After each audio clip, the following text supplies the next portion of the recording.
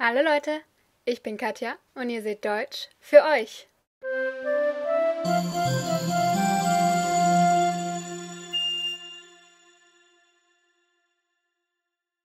Like I announced last week, today we're going to take a look at some adjectives. Since I don't really like the idea of just taking an alphabetically sorted list and just reading that down in like, I don't know, five episodes and just, you know, doing 20 a piece, we're just going to go by topic. So today we're going to learn a few basic adjectives to describe how something or someone looks or how you feel. Meaning that most of the adjectives I'm going to teach you today are going to be usable in all of the following sentences. That looks or that is, you look or you are, and I look, I feel, and I am. Although, of course, their use is not limited to that. Das sieht aus, das ist Du siehst aus, du bist. Ich sehe aus, ich bin. And finally, ich fühle mich. Well, let's get started. Gut. Now, as for the context of you're good, I'm good, he's good, whatever, um, I want to point something out. You can't really use that in the same way you do in English, meaning, you know, if you ask, do you want any more meat and you just say, no, I'm good. You can't say that in German. If you were to say, ich bin gut, which you won't really find people saying, that would basically mean I'm I'm a good person. I'm I have a good heart. So that's a sentence you won't really encounter. It's grammatically correct, but it's not used. Perfect. Schön. Or to over exaggerate the word wunderschön. Wunder means wonder or miracle. So you're basically saying something is stunningly beautiful. Hübsch. Or bildhübsch. Bild means picture. So it's just as in English, pretty as a picture. Süß.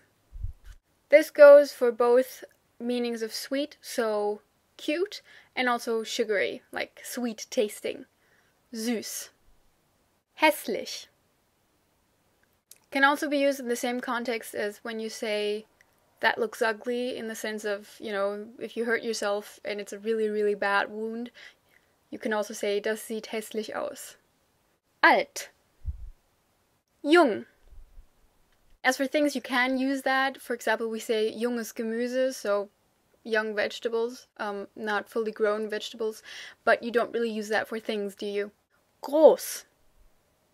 It's used for both tall and big, there's not really that much of a difference. So basically, if you want to say um, something is big, like big in every direction, you would either describe it as just as, you know, groß, or you could say dick, which is another word we're getting to.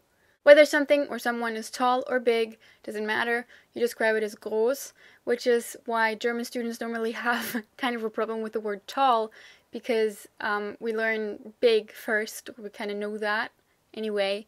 So we might run into that kind of awkward situation where you describe somebody as big when you just want to say that he or she's tall.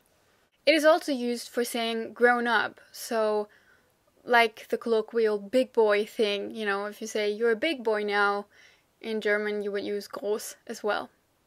Klein. Same word for small and little, same thing. Dick. she said dick. we have to differentiate between dick and fat. Um, fat, as you might have guessed, is fat, and dick is just, you know, if you're heavy, let's say that. So you're you're round, but you're not like. But in the end, it's kind of up to the speaker which word he or she wants to use. Funnily enough, we can also use the word fett in German as P H A T, so like fat. We write it the same way as the derogatory one, but um, you can also say that, you know, to say something is awesome, like fat. Dünn. Schlank. If you want to compliment somebody on how thin they are looking, you would be better off using the word schlank, since dünn can be used kind of derogatory and can sound kind of derogatory to people that, you know, feel like they're too thin. Toll. Super. It doesn't sound as nerdy as the English. Super. That's so super, man. You still actually use it. Mm, not as much as cool. which we just use, we just pronounce it more German, like cool. But it's still used, so that's fine. If you want to use that word, it's fine. Geil. Now, this is kind of an iffy word for older people because originally it's, well, you know, let me start from the very beginning. The word geil originally referred to plants being ripe, like being able to have, like, to pollinate or whatever you call that. So, after that, it kind of became horny because, well, I guess you could interpret that plant behavior as horny, ready to fornicate. So it became horny, and after that, it became awesome. So to older people, and actually still to some people in my generation, like me, it kind of feels weird to say geil for awesome because it's always with that little weird sexual. Uh, context. But it is used very often, and it's kind of well, it is awesome. You know, you have cool, which is cool, and then you have awesome, you know, geil. Kind of all of the other words we have for expressing how awesome something is are kind of old by now. So you would come across this word in, um, you know, colloquial speech, so you might as well learn it from me. Geil. Although I have to say, since there are these two meanings and it is still used for horny, you should be careful with using it for people. Because you can't say du bist geil meaning you're awesome. Normally, if you say du bist geil, sie ist geil, it's kind of more. It doesn't mean horny in that context. It basically means you know beyond sexy. It's like really, really hot. So be careful. You can describe things as geil because nobody nobody will assume that you are sexually attracted to a TV. But yeah, schlecht. Now, while this can mean bad, you can also use it in the sense of um, being nauseated, nauseous, I don't know, feeling sick to your stomach. You can say mir ist schlecht. Müde. You cannot use this in the sense of being tired of something. We don't use that. You could say ich fühle mich müde, but nobody really says that. Hungrig. Durstig. Krank. This word can be used for both being ill and being sick, of course, and also for something looking sick in the sense of, you know, looking gruesome. So you can also say das ist krank, um, meaning, you know, that's just sick. Don't do that.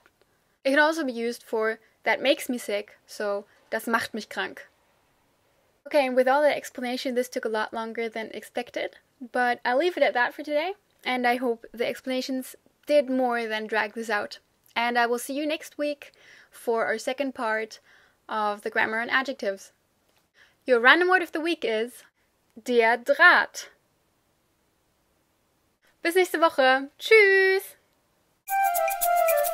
Música